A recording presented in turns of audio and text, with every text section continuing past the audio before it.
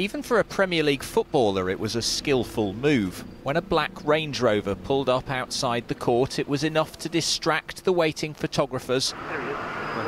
While Jack Grealish, in the cream coat, tried to slip in unseen. But there was no escaping his punishment once he got inside. Only leave your house to buy food, to buy medicine, or to exercise. Early in the spring lockdown, the England player went on social media urging people to stick to the rules. Stay home, save lives. But that very night, he went to a friend's house and was filmed the next morning running to his car before reversing it into a van.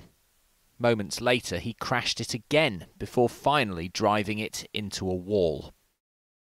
Afterwards, witnesses noticed he was wearing two odd slippers, and the court was told they believed he smelled of alcohol. But head in his hands after sharing his details, he left before the police arrived.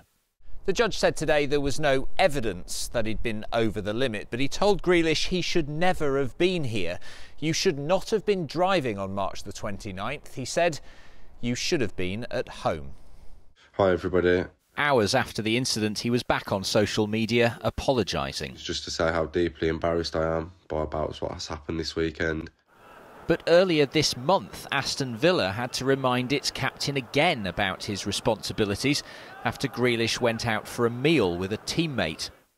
And in October, police caught him in his black Range Rover doing 90 miles an hour on the motorway and tailgating other cars. He pleaded guilty to a second count of careless driving. But in court, Grealish's lawyer insisted he was deeply ashamed of his actions. He was banned from driving for nine months and fined more than £80,000, which amounts to about a week and a half of his take home pay. Ben Chapman, ITV News, Birmingham.